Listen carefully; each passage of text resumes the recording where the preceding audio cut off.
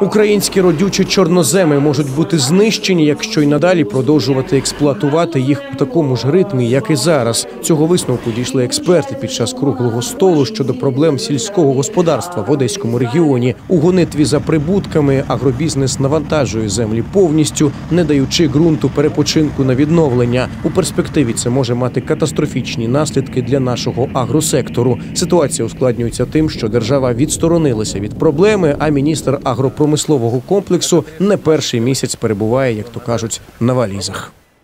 Лет через 10 об украинских черноземах можно будет вспоминать в прошедшем времени. Я это говорю э, как э, вполне ответственно. То есть система севооборота в Одесской области, ф- ну не только в Одесской области, в Одесской в частности, ее сегодня практически она очень сильно нарушена. Если смотреть с точки зрения чистой экономики, то берется только то, что сегодня выгодно и не требует долгосрочных вложений. Я не вижу сегодня какой-то четкой политики, четкого позиционирования в этом вопросе.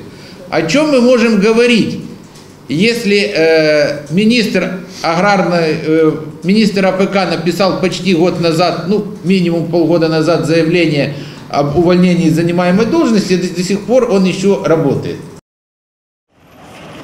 Ще одна нагальна проблема це відсутність переробки сільгоспсировини. Експортуючи товари в первинному стані, ми дозволяємо іноземним державам забирати велику частину прибутку від нашої аграрної діяльності.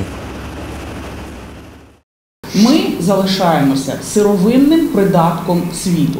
Ми сьогодні експортуємо виключно сировину, тобто левова частина того врожаю, який сьогодні виростила Одеська область, експортована через одеські порти.